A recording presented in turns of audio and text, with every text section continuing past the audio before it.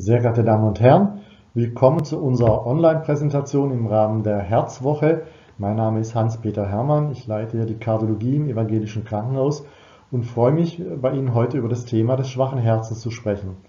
Sie alle wissen, dass wir normalerweise diese Fortbildung in unserem Bürgerhaus Bergischen Löwen durchführen, was dieses Jahr durch die Pandemiesituation nicht möglich ist. Deshalb machen wir ein neues Konzept und versuchen das mal als Online-Präsentation.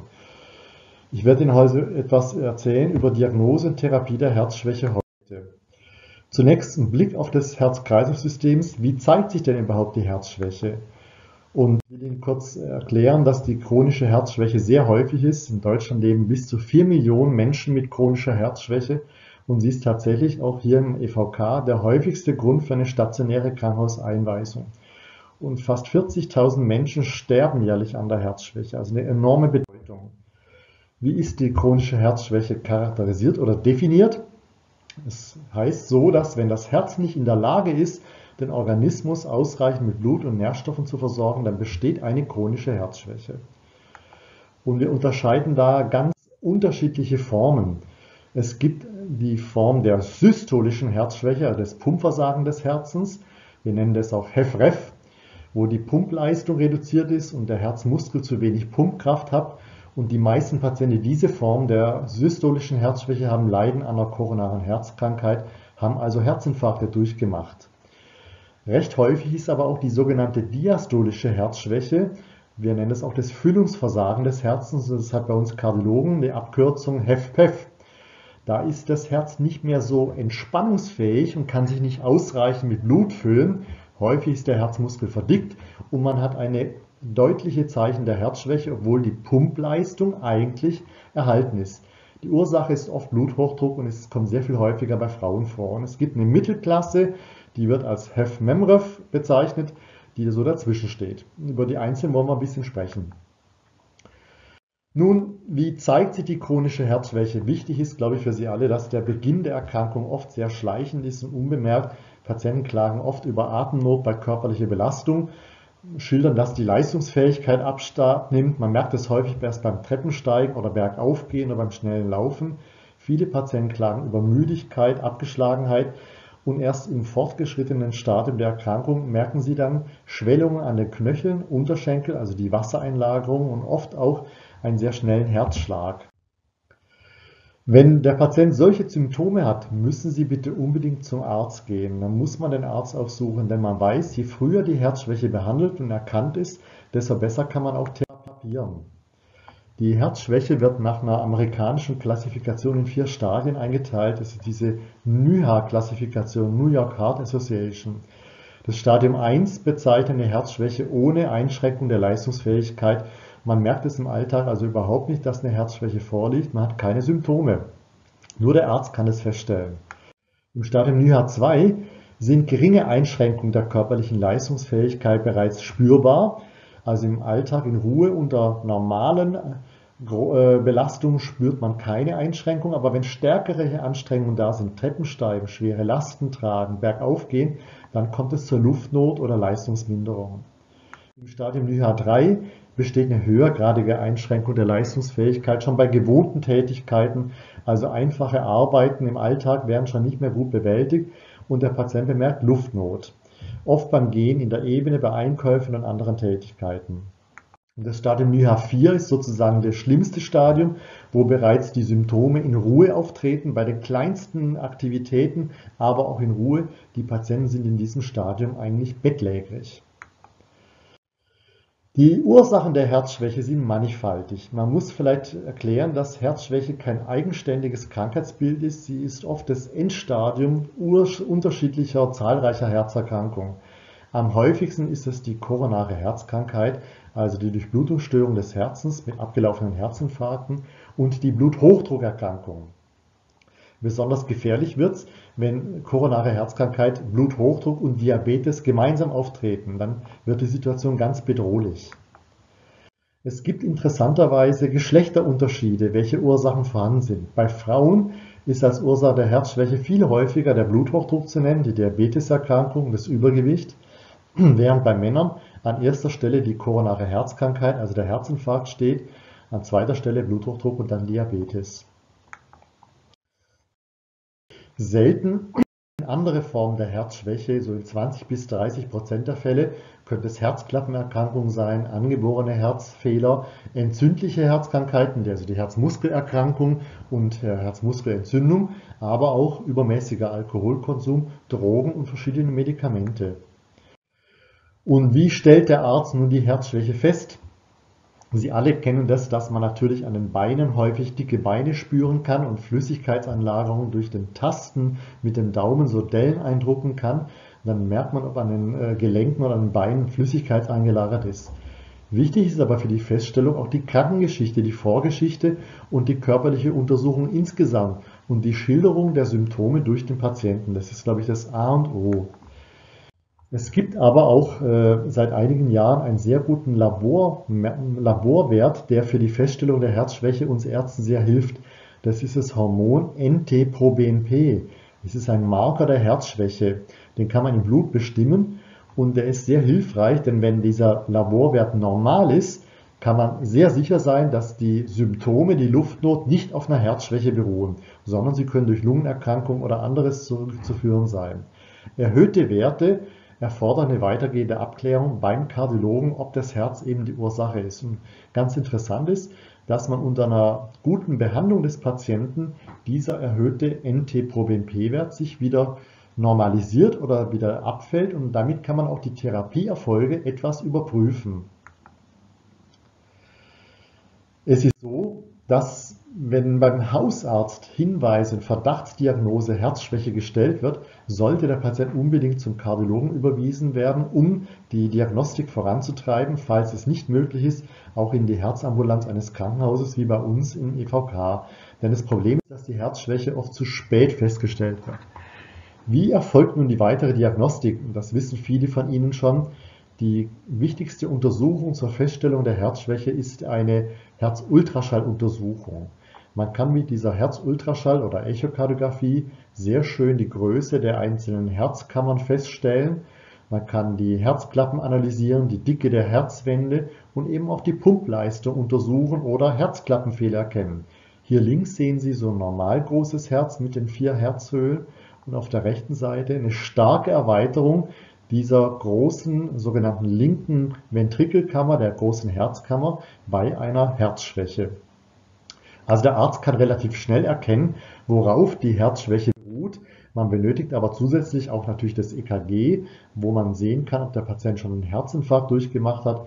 Viele Patienten brauchen ein Belastungs-EKG, um Hinweise für eine Durchblutungsstörung zu finden, ein Röntgenbild der Brustkorborgane und in vielen Fällen auch eine Herzkatheteruntersuchung.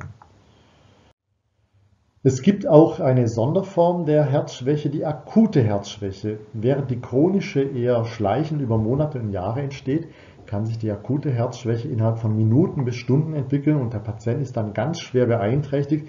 Es ist auch eine hochgefährliche Sache und meist entsteht diese akute Herzschwäche auf dem Boden der chronischen Herzschwäche, wie wir dann nennen, durch Dekompensation der chronischen Herzschwäche. In dieser Situation muss man wirklich schnell handeln und das ist ein kardiologischer Notfall. Es kann ein akutes lebensbedrohliches Herzversagen vorliegen, der sogenannte kardiogene Schock. Oder es kann so eine schwere Herzschwäche geben, dass sich Wasser in die Lunge zurückstaut und ein sogenanntes Lungenödem entsteht. In diesen Fällen braucht man wirklich den Notarzt und muss sofort die 112 wählen. Das ist keine Situation, bei der Sie erst zum Hausarzt gehen können. Sie sehen hier so ein Bild eines sogenannten Lungenödems, wo eben Flüssigkeit, was sich vor dem Herzen staut, in die Lungenbläschen austritt und es entsteht extreme Atemnot, vor allem beim Liegen. Manche Patienten haben sogar den sogenannten Herzhusten oder Flüssigkeit und Schaum vor dem Mund und es besteht meistens Todesangst. Weil die Lunge so mit Wasser überladen ist, kann man im Röntgenbild nicht mehr diese sogenannte Schwärzung der Lunge sehen, wo eigentlich Luft sein sollte, sondern hier dieses Wasser zeigt sich in so einer gräulichen Verfärbung der Lungengewebe, wo es eigentlich normalerweise schwarz wäre. Also ein absoluter Notfall. Jetzt zu einer besonderen Form, die ich vorher schon so ein bisschen erwähnt habe, diese sogenannte diastolische Herzschwäche oder die Herzschwäche bei erhaltener Pumpfunktion. Die ist sehr häufig, man weiß, dass etwa 50 Prozent aller Herzschwächepatienten an dieser Form leiden, aber leider in der Bevölkerung noch wenig bekannt. Es ist so, dass sie auf der Störung der Füllung, der Dehnbarkeit des Herzens beruhen. Und wir haben über 5% aller über 70-jährigen Menschen leidet in Deutschland daran. Man weiß, dass Frauen viel häufiger betroffen sind als Männer. Fast alle Patienten mit dieser diastolischen Herzschwäche haben als Ursache eine Bluthochdruckerkrankung und viele haben zusätzlich ein Diabetes mellitus, also Zuckererkrankung oder Übergewicht. Es gibt andere seltene Ursachen wie eine genetisch äh, bedingte Verdickung des Herzmuskels, die hypertrophe Kardiomyopathie oder Stoffwechselerkrankung, wo sich äh, Eiweiße zum Beispiel ins Herz einlagern, die sogenannte Amyloidose. Beschwerden sind bei der diastolischen Herzschwäche ganz ähnlich wie bei der sogenannten systolischen Herzschwäche. Patienten haben Luftnot bei Belastung, manchmal auch in Ruhe. Sie sind weniger leistungsfähig. Es gibt eben diese bekannten Flüssigkeitseinlagerungen in die unteren Extremitäten, die Ödeme.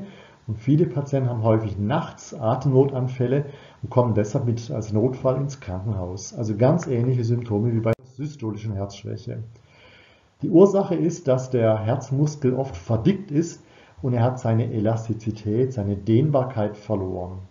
Er dehnt sich also in der Erschlaffungsphase nur ungenügend auf und kann deshalb nicht genug Blut aufnehmen, was er dann in der nächsten Anspannungsphase eigentlich auswürfen sollte. Durch diese Steifheit bleibt das Blut im Kreislauf zurück und staut sich in die Lunge, dass eben Wasser in der Lunge entsteht und die Luftnot entsteht. Das ist die Ursache der Atemnot bei der Herzschwäche. Jetzt ein Exkurs zu dem interessanten Thema Herz und Coronavirus. Sie alle wissen, dass wir momentan stark eingeschränkt ist und gerade diese Veranstaltung ist ja ein Beispiel dafür, dass wir durch das Coronavirus leider nicht mehr unseren Vortragstätigkeiten und dem normalen Alltag nachgehen können. Vielleicht ein paar Begriffsdefinitionen. Das Coronavirus, haben Sie alle gehört, ist so ein rundes, kreisförmiges, kugelförmiges Virus, was solche Spitzen, solche Kugeln, Strahlenkranz außen dran hat, deshalb heißt Coronavirus. Das Virus wurde von der Weltgesundheitsorganisation als SARS-CoV-2-Virus bezeichnet. Die Erkrankung, äh, die wir aber hier sehen, ist die Covid-19-Erkrankung. SARS-CoV heißt Severe Acute Respiratory Syndrome, also eine Lungenerkrankung durch dieses Coronavirus 2. Und weil die Erkrankung 2019 zum ersten Mal festgestellt wurde, heißt die Erkrankung eben Covid-19. Auch für Herzpatienten heißt es, Vorsicht vor dem Coronavirus, aber bitte keine Panik. Generell ist so, dass alle Bakterien oder virale Infektionen eine zusätzliche Belastung und Gefahr für das Herz-Kreislauf-System darstellen. Und das kann natürlich ein geschwächtes Herz überfordern. Wie riskant so eine Ansteckung für einen Patienten mit Herz-Kreislauf-Erkrankung ist, ist aber sehr unterschiedlich. Man weiß noch nicht genau, welche Patienten besonders betroffen sind. Und die Häufigkeit von Herz-Kreislauf-Komplikationen belaufen sich nach momentaner Kenntnis auf 5 bis 10 Prozent aller Covid-19-Erkrankungen. Interessant ist, dass das Virus eine direkte Schädigung des Herzens bewirken kann, indem es vor allem die Gefäße, auch die Herzkranzgefäße äh, befällt, also eine Gefäßentzündung mit Herzinfarkten auslöst. Eher selten ist eine direkte Muskelentzündung des Herzens, die sogenannte Myokarditis. Also mögliche Auswirkungen sind tatsächlich, dass sogar bei Covid-19 vermehrt Herzinfarkte entstehen durch Verschlüsse und Verstopfung der Herzkranzgefäße, eine akute Schädigung des Herzens auch ohne Verengung der Gefäße. Es sind Herzrhythmusstörungen beschrieben, Herzschwäche, Herzbeutelerguss und vor allem Thrombosen und Embolien auch, die die Herzkranzgefäße oder den Körper allgemein betreffen. Hier nochmal zusammengefasst diese ganzen Möglichkeiten der Schädigung. Wir nennen das sogenannte mikrovaskuläre oder thrombotische Schädigung. Wir wissen heute, dass das Virus äh, das Immunsystem ankurbelt und einen sogenannten Zytokinsturm bewirkt, der den Herzmuskel schädigen kann. Es gibt also mannigfaltige Ursachen, in dem wie das Virus auf das Herz einwirken kann. Wichtig ist, glaube ich, dass Patienten, die Atemwegserkrankungen haben, Lungenentzündung oder Lungenemphysem, Asthma, COPD, sind doch besonders gefährdet. Und Patienten, die eine Herzerkrankung haben mit Funktionseinschränkung, also mit einer Herzschwäche, sind eben auch ernster gefährdet als die Patienten, die nur eine Bluthochdruckerkrankung haben. Natürlich sind auch Patienten gefährdet, die immunsupprimierende Organe einnehmen, äh, immunsupprimierende Medikamente nehmen, das nach, nach einer Organtransplantation. Was sollen Sie beachten? Man muss die allgemeinen Verhaltenshygienerichtlinien beachten. Da denken Sie bitte an die Empfehlung des Robert-Koch-Instituts. Bitte nehmen Sie die Medikamente zum Herz-Kreislauf-System gewissenhaft ein. Keine Medikamente absetzen, auch nicht die Blutdruckmedikamente und ganz wichtig auch nicht die blutverdünnenden Medikamente. Man muss natürlich eine Klinik informieren, wenn man Blutverdünnung einnimmt, damit man das nicht doppelt einnimmt. Und äh, Sie sollten sich einfach aktuell informieren und bitte nicht auf irgendwelche Pressemeinungen von Wundermitteln vertrauen. Sollen, bitte bleiben Sie aufmerksam, was das Coronavirus betrifft. Die Symptome der Infektion können natürlich mit Luftnot und Atemnot ganz ähnlich auf eine Herzerkrankung eingehen oder auch Brustbeschwerden veranlassen. Also wenn Verdacht auf Herzinfarkt oder Herznotfall besteht, sollen Sie bitte nicht zögern, auch keine Angst haben, in die Klinik zu gehen, sondern den Notruf 112 absetzen. Und ein gesundheitsfördernder Lebensstil ist natürlich ganz wichtig. Soweit zum Coronavirus. Nun geht es weiter mit dem zweiten Teil. Sobald die Herzschwäche erkannt ist, stellt sich die Frage, was tun? Die beste Strategie natürlich für die Behandlung einer Herzschwäche ist, wenn der Patient eine aufgeklärte und behandelbare Grundkrankheit hat. Wenn eine koronare Herzkrankheit besteht, ist natürlich sinnvoll, die Durchblutung des Herzens zu verbessern durch Medikamente, Dilatationsstents oder, oder Bypass-Operation und die Risikofaktoren für die KHK auszuschließen, eben Bluthochdruck, Diabetes und so weiter. Wenn eine Herzklappenerkrankung die Ursache ist, also mit undichten oder verengten Herzklappen, kann natürlich die Erkrankung geheilt oder verbessert werden, wenn die Herzklappe repariert wird oder ersetzt wird. Das sehen Sie hier in einem Ultraschall des Herzens mit einer undichten Mitralherzklappe mit Rückfluss durch die Mitralherzklappe, die durch eine Operation korrigiert werden kann. Hier rechts ist die Mitralklappe rekonstruiert und hier besteht nur noch so eine ganz geringe Undichtigkeit, dieses Farbmosaikbild. Welche Medikamente stehen uns zur Verfügung? Und ich darf Ihnen gleich dazu sagen, die Domäne der Behandlung der Herzschwäche ist doch immer bei den Medikamenten. Wir haben eine ganze Reihe von Medikamenten, die bei der sogenannten systolischen Herzschwäche sehr günstig wirken die sollten auch in so einen Medikamentenpass eingetragen werden. Und die Ziele, die wir bei der Behandlung haben bei den Patienten, ist, sind im Grunde vier verschiedene. Die Medikamenten sollen helfen, dem Voranschreiten der Herzschwäche aufzuhalten und die zu, zu stoppen. Wir wollen erreichen, dass sich die Herzleistung verbessert und dass für den Patienten die Lebensqualität die subjektive Leistungsfähigkeit wieder verbessert wird. Das ist für unser Patienten, glaube ich, ein ganz vordringliches Ziel. Eine ganz wichtige Idee war über die letzten Jahre auch immer, dass wir natürlich Medikamente möchten, die die Lebenserwartung des Patienten mit der Herzschwäche verbessern, weil wir wissen, dass die Herzschwäche ein sehr ernstes Krankheitsbild ist. Ganz entscheidend ist, dass Sie als Patient bitte Medikamente nicht eigenmächtig absetzen sollen, weil es sonst zu krisenhaften Notfällen kommen kann. Folgende Medikamente haben ihre Wirksamkeit bei der systolischen Herzschwäche bewiesen. Ich betone das, weil Sie nachher sehen werden, dass es für die diastolische leider nicht so viele Möglichkeiten gibt. Sie alle kennen oder einzelne von Ihnen kennen Beta-Blocker, ACE-Hämer, Sartane, die sogenannten MRAs, die Arnis, Wassertabletten, Ivabradin und herzstärkende Glykoside. Ich will kurz auf die einzelnen Medikamente eingehen, aber auch nicht zu ausführlich, weil es Entscheidung des Arztes liegt, was für Sie persönlich sinnvoll ist.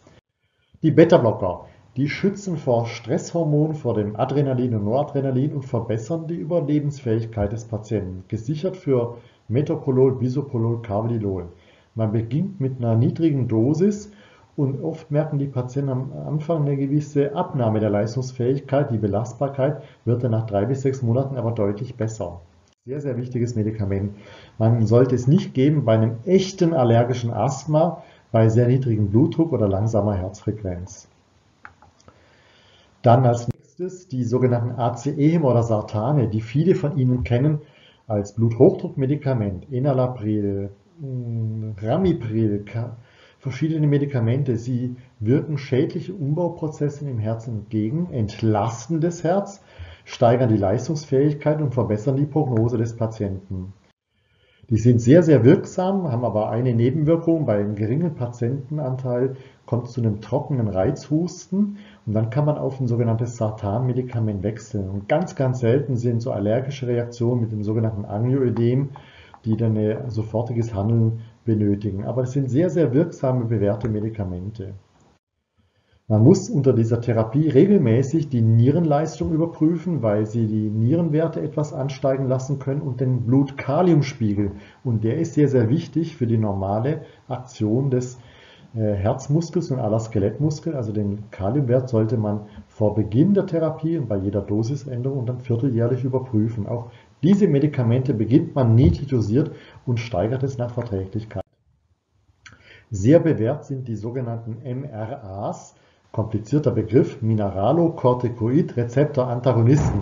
Da gibt es nur zwei Medikamente, das Spironolacton und das Eplerenon. Sind ein fester Bestandteil der Herzschwächebehandlung, weil sie Sterblichkeit senken. Auch hier fängt man mit einer niedrigen Dosis an und das gleiche gilt wie für die ACE immer. Man muss die Nierenwerte und Kaliumspiegel regelmäßig kontrollieren, weil die Medikamente vor allem das Kalium erhöhen. Das Spironolacton kann bei Patienten manchmal eine Brustschwellung verursachen und dann sollte man wechseln zu dem Eplerenon. Ein Meilenstein in der Behandlung der Herzschwäche sind die sogenannten ARNI. ARNI heißt Angiotensin-Rezeptor-Neprilysin-Inhibitor. Von dieser Wirkklasse, die neu ist seit 2016, gibt es bisher nur einen Vertreter. Das Medikament heißt Entresto und ist eine Kombination aus zwei Medikamenten, die noch besser wirkt als diese ACE oder Sartane und die Prognose, die Überlebenswahrscheinlichkeit verbessert, aber auch die Leistungsfähigkeit des Patienten weiter verbessert. Also es hat Vorteile und wir setzen es zunehmend auch als Erstlinienbehandlung ein bei den Patienten mit Herzschwäche. Als Nebenwirkung ist doch häufig, dass es den Blutdruck etwas stärker senkt und es limitiert leider oft die Dosierung des Medikaments. Wir würden gerne mehr geben, können es aber nicht, weil der Blutdruck doch absinkt. Ganz selten sind auch diese allergischen Reaktionen mit Angioödem, das habe ich bisher noch nie gesehen. Ganz wichtig ist, man darf es nicht gemeinsam nehmen mit ACE-Hämmern oder Sartan, dann steigt der, fällt der Blutdruck wirklich dramatisch ab und man muss die ACE-Hämmer drei Tage vorher absetzen, Sartane nicht, das ist hier nicht so ganz korrekt. Man fängt auch hier mit einer niedrigen Dosis an und steigert die immer alle vier Wochen nach Verträglichkeit und muss etwas Geduld haben, wie das Medikament vertragen wird. Dann sind ganz, ganz wichtig aus meiner Sicht die Wassertabletten, die Diuretika, die wassertreibenden Mittel. Sie werden aber eigentlich nur eingesetzt, um Flüssigkeit auszuschwemmen, bei Patienten, die eine Neigung zur Einlagerung von Flüssigkeit haben und bei Patienten mit hohem Blutdruck, um die zu senken. Da gibt es verschiedene Gruppen, die eingesetzt werden, aber ganz wichtig ist, dass bei allen Wassertabletten, dass hier der Kaliumspiegel eher sinkt. Auch deshalb muss man wieder den Kaliumspiegel überprüfen und die Nierenfunktion. Da diese Wassermittel so unangenehm für viele Patienten sind, werden sie leider besonders häufig weggelassen oder zu wenig eingenommen, was oft ein Grund ist, warum sich das Befinden des Patienten verschlechtert und notfallmäßige Krankenhausaufenthalte erforderlich werden. Wir haben noch ein, zwei Reservemedikamente. Das sind die herzstärkenden Herzglykoside, die aus dem Fingerhut gewonnen werden, Digoxin und Digitoxin. Bei der Herzschwäche, die steigert etwas die Herzkraft und senkt die Pulsfrequenz beim Vorflimmern. Wir haben das früher sehr, sehr häufig eingesetzt. Die Medikamente sind etwas in Verruf geraten, weil sie doch auch Nebenwirkungen haben können und werden heute nur noch als Reservemedikamente eingesetzt. Ich persönlich verwende die sehr gern. Was ganz Neues und ein weiterer Meilenstein bei der Behandlung ist ganz aktuell die Behandlung mit den sogenannten SGLT2-Hämmern. Das sind eigentlich Diabetes-Medikamente, die für den Diabetes entwickelt wurden da sind zwei in Deutschland zugelassen auf dem Markt, das Empagliflozin und das Dapagliflozin. Und man hat bei der Behandlung von Diabetespatienten überraschend festgestellt, dass die, sich die Blutzuckerwerte verbessern, aber dass sich auch die Herzschwäche bessert und Patienten weniger ins Krankenhaus aufgenommen werden müssen wegen Herzschwäche. Und wir haben ganz aktuelle Daten, dass sie also unabhängig davon, ob ein Mensch Diabetes erkrankt ist, das Dapagliflozin und auch das Empagliflozin bei Herzschwäche einen großen Nutzen haben und die Sterblichkeit senken und weniger Krankenhauseinweisungen entstehen. Also eine ganz neue Entwicklung, sodass wir das vermehrt einsetzen bei Diabetikern, aber auch jetzt neu bei Patienten ohne Diabetes. Ein Reservemedikament oder ein Thema, was bei Herzschwäche immer etwas zu kurz kommt, ist der Eisenmangel. Patienten, die einen Eisenmangel haben, egal ob sie blutarm sind oder nicht, profitieren von einer Eisengabe, wenn ein Eisenmangel in den Blutwerten bewiesen ist und dazu muss man Laboruntersuchungen durchführen. gehe ich darüber hinaus. Ein ganz wichtiger Punkt für alle Herzpatienten, vor allem Patienten mit Herzschwäche ist, dass man vor Grippe sich impfen lassen soll. Momentan ist die Grippesaison, Sie wissen, dass alle aufgerufen werden, sich gegen Grippe impfen zu lassen. Das gilt besonders für Patienten mit Herzschwäche. Aber auch eine Pneumokokkenimpfung, also Bakterien gegen Lungenentzündungsbakterien, ist sinnvoll, dass man dagegen impft. Das muss man nur alle fünf Jahre machen. Es gibt nun neben diesen Medikamenten, die einen nachgewiesenen Nutzen haben, eine ganze Reihe von Medikamenten, die in der Presse, auf einer Laienpresse beworben werden, aber denen es keinen nachgewiesenen Nutzen gibt. Dazu zählt leider auch der Weißdorn, Krategus, Taurin, Carnitin und Coenzym Q10. Hier waren wir mal sehr überrascht in 2013, als es eine positive Studie gab. Die, der Nutzen ist aber nicht belegt. Hier gibt es widersprüchliche Daten und momentan kann es nicht empfohlen werden. Man sollte das also aus ärztlicher kardiologischer Sicht besteht keine Indikation dafür, diese Medikamente einzunehmen. Und es gibt Medikamente, die sogar eher schädlich sind, die Sie nicht nehmen sollten, die die Herzschwäche verschlechtern können. Das sind die meisten Medikamente gegen Herzrhythmusstörungen. Außerdem Amiodaron können eine Herzschwäche verschlechtern. Dann bestimmte Blutdruckmedikamente wie Verapamil, Diltiazem. Ganz besonders Schmerz- und Rheumamittel wie Ibuprofen, Diclofenac. Sie können zur Flüssigkeitseinlagerung führen und zu dramatischen Verschlechterung der Herzschwäche, aber auch Antidepressiva und äh, andere Blutzuckermedikamente, die wir bei der Herzschwäche vermeiden müssen. Was kann der Patient selbst tun, um der Herzschwäche entgegenzuwirken? Viele haben wir über Medikamente und über ursächliche Therapie gesprochen. Es gibt aber eine ganze Reihe von Maßnahmen, die selbst wichtig sind. Entscheidend ist, dass Sie die Medikamente, die der Arzt hoffentlich sorgfältig auf Sie abgestimmt hat, konsequent einnehmen und Medikamente nur in Absprache mit dem Arzt verändern. Eine tägliche Gewichtskontrolle ist wichtig. Dann ein maßvolles Ausdauertraining bei stabiler Herzschwäche. Wenig Alkohol, weil Alkohol auch direkt auf das Herz schädigend wirken kann. Rauchen aufhören. Mediterrane Küche, wenig Salzzufuhr, kein Nachsalzen und bei der Flüssigkeitszufuhr aufpassen, dann so ein Thema, was eigentlich in den Hintergrund tritt, Reisen in große Höhen oder heißes, feuchtes Klima, das vermeidet der Patient mit Herzschwäche eigentlich in der Regel selbst schon. Fangen wir an mit dem Thema Bewegung als Therapie. Als ich studiert habe und Medizin gelernt habe, war es noch so, dass die Patienten mit Herzschwäche oft vier Wochen ins Bett gepackt wurden und sie sich schonen sollten. Das ist dann mittlerweile total out. Man hat gelernt, dass durch diese Schonung die ganze Herzmuskulatur, aber auch die Skelettmuskulatur sich eher verschlechtert, dass der Patient nachher keine Kräfte mehr hat. Man weiß heute, dass vor allem in den mittleren Stadien der Herzschwäche ein dosiertes Ausdauertraining sehr sinnvoll ist, die Leistungsfähigkeit verbessert, die Sterblichkeit senkt und auch die Krankenhausbehandlung seltener werden lässt. Also eine ganz wichtige Sache. Das gilt in den mittleren Stadien und sollte immer ohne, äh, nur nach ärztlichem Rat begonnen werden kann man das praktisch machen. Man lässt sich vorher beim Kardiologen testen auf dem Belastungs-EKG und auch optimalerweise so einen Trainingspuls bestimmen. Man beginnt ein Training unter ärztlicher Aufsicht und Anleitung, was sinnvoll ist. Und sinnvoll sind Ausdauerbelastungen wie Spazierengehen, Walking, Radfahren, Wandern. Manche Patienten neigen auch zum Tanzsport. Die Intensität kann dann ganz langsam unter Pulskontrolle gesteigert werden. Ideal ist natürlich, wenn Sie so etwas in der Herzsportgruppe wie in unserer Reha zum Beispiel beginnen. Patienten mit äh, schwereren Beschwerden sollen ganz eng überwachtes Trainingsprogramm bekommen und das verbessert bei diesen Patienten mit NYHA-3-Stadium, wenn man das konsequent macht, sogar eine NYHA-Klasse ist also so wirksam wie manches Medikament. Und Patienten mit hochgradig eingeschränkter Punktfunktion können ein ganz vorsichtiges Übungstraining durchaus auch durchführen, was ihre Leistungsfähigkeit wieder verbessern kann. Wie kann man diese Krankenhausaufenthalte vermeiden? Und ich habe Ihnen vorher schon erwähnt, dass die Entgleisung einer Herzschwäche, wir nennen das Dekompensation, der häufigste Grund in Deutschland ist für Krankenhausaufweisung. Jeden Tag in der Notaufnahme kommen Patienten mit dekompensierter Herzschwäche. Und oft ist es leider so, dass da Therapiefehler verantwortlich sind.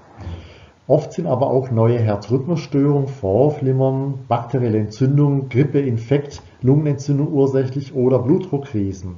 Und da muss man drauf aufpassen und diese Sachen vermeiden. Therapiefehler. Es ist leider so, dass der Patient mit einer Herzschwäche sehr engmaschig eigentlich von Hausarzt und Kardiologen überwacht werden muss. Wenn das zu große Intervalle sind, kann es sein, dass die Behandlung nicht mehr ganz angepasst ist. Und Patienten mit der schweren Herzschwäche sollten eigentlich wirklich in eine ganz engmaschige Behandlung, am besten in eine sogenannte Herzinsuffizienzambulanz, wo die Medikamente engmaschig überprüft werden.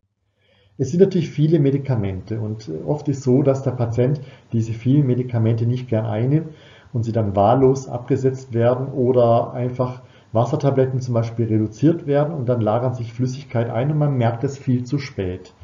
Auch falsche Dosierungen mögen eine Rolle spielen was das Kalium beeintrifft und eben die zusätzliche Einnahme von Medikamenten, die das Herz schwächen. Wie ich schon sagte, ein typisches Beispiel sind Schmerzmittel, Schmerz- und Rheumamittel. Aber nicht nur Medikamentenfehler können eine Herzschwäche verschlimmern, sondern auch Ernährungsfehler. Und so ist der Salzkonsum ein ganz wichtiger Punkt. Eine große Salzzufuhr führt auch in der Regel zu einer vermehrten Flüssigkeitsaufnahme. Und viele Patienten sagen mir, ja, ich muss doch für meine Nieren am Tag drei oder vier Liter Flüssigkeit trinken. Das gilt vielleicht für reine Nierenerkrankung, aber bei der Herzschwäche ist das total schädlich und falsch.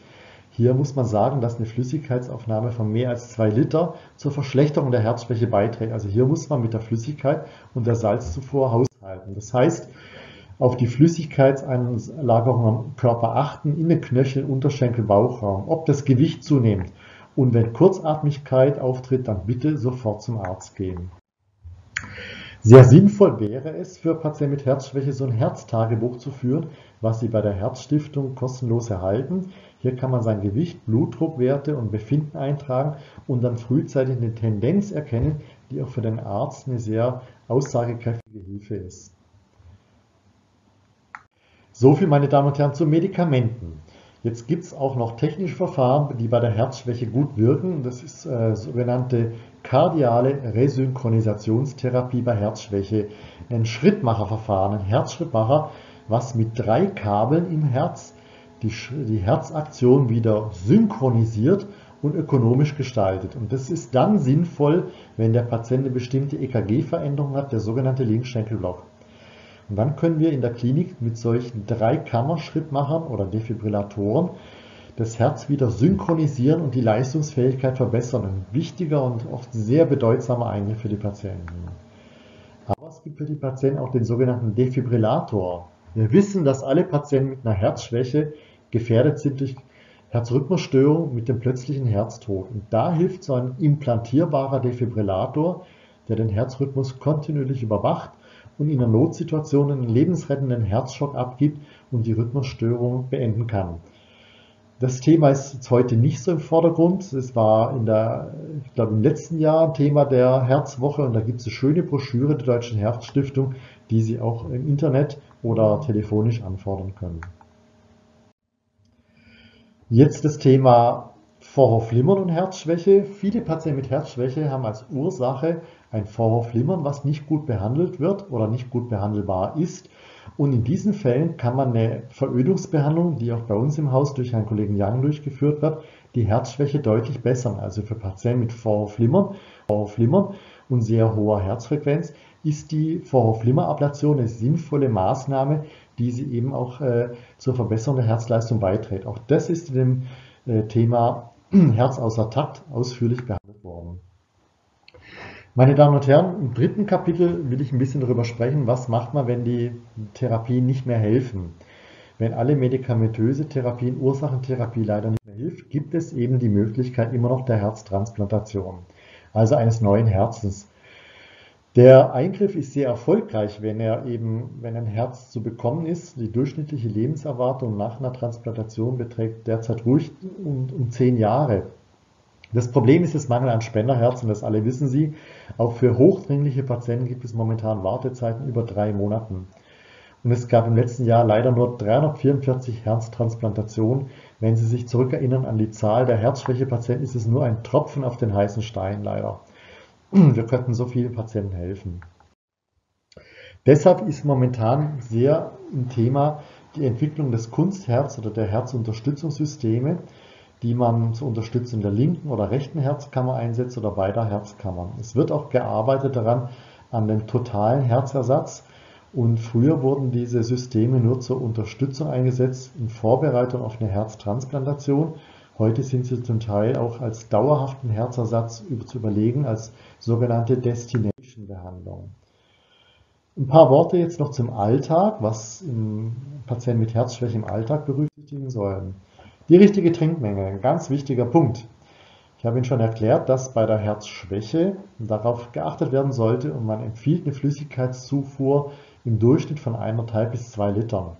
Es ist sehr abhängig von der Temperatur, von Schwitzen und sowas und sollte von Ihrem Kardiologen festgelegt werden. Man sollte natürlich am besten Wasser, ungesüßten Kaffee und Tee trinken, wenn es möglich ist, nicht so viel Kölsch oder Rotwein. Ganz entscheidend finde ich, dass der Patient mit Herzschwäche sich täglich wiegen soll, vor allem wenn eine Tendenz zur Wassereinlagerung besteht. Morgens immer zur gleichen Uhrzeit wiegen, am besten ohne Bekleidung vor dem Frühstück und das ins Tagebuch eintragen. Eine ganz wichtige Daumenregel oder Faustregel ist, nehmen Sie innerhalb von drei Tagen mehr als zwei Kilo zu, ist es keine Nahrungseinlagerung oder kein Fettgewebe, sondern ist es Flüssigkeitseinlagerung. Und dann muss man mit dem Hausarzt oder Kardiologen sich besprechen und unbedingt die Wassertabletten anpassen, vorübergehend mehr Wassertabletten geben und die Flüssigkeitszufuhr etwas beschränken. Also bitte täglich wiegen.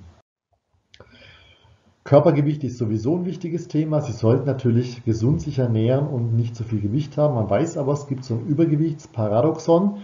Patienten, die eine Herzschwäche haben und etwas übergewichtig sind, haben erstaunlicherweise eine bessere Überlebenschance als Patienten, die ein sehr niedriges Gewicht haben.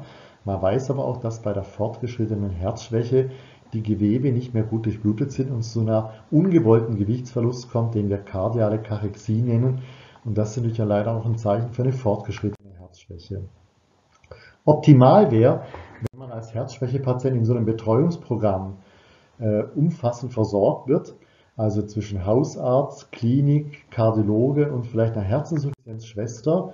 Es gibt so Betreuungsprogramme in Herzinsuffizienz ambulanten, in Herzzentren. Wir wollen sowas hier in Bergisch Gladbach eben auch mit den niedergelassenen Kollegen etablieren, dass die Betreuung engmaschiger funktioniert.